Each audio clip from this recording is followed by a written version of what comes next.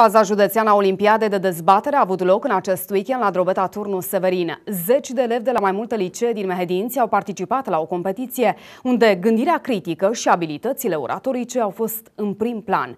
Câștigătorii competiției sunt elevii Colegiului Național Pedagogic Ștefano Dobleja și cei ai Colegiului Național Traian, care s-au calificat la etapa națională a Olimpiadei.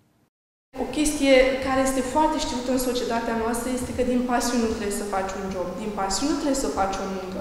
Pentru că în momentul în care pasiunea îți aduce ceva, ceea ce tu vrei, în momentul în care de pasiunea ta depinde traiul tău de zi cu zi sau universitatea la care ajungi, în momentul ăla nu mai devine pasiune, devine stres.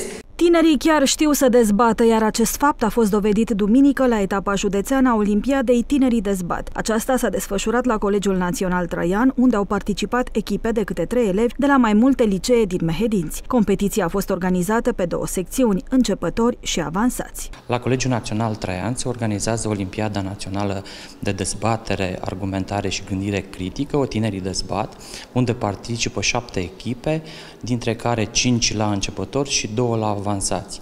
Uh, de menționat este că pe parcursul zilei de astăzi vor avea loc trei runde preliminare Uh, după care uh, primii trei clasificați, atât la începători cât și la avansați, vor reprezenta județul Mehedinți la Olimpiada Națională care se desfășoară la Piatra Neamț. Concurenții au declarat că practica dezbaterilor îi pregătește să acționeze coerent, să investigheze și să analizeze probleme importante ale lumii contemporane, dar și să fie creativi. De ce ai ales tu să vii la această Olimpiadă? Eu am ales să vin la această Olimpiadă să-mi dezvolt uh, capabilitatea să vorbesc, să să, să mă adresez oamenilor și să pot să mă implic mai mult în activitatea civică din acest oraș. Aș vrea să mă dezvolt în principal și să evoluez ca om și ca persoană și din punct de vedere uh, al profesional.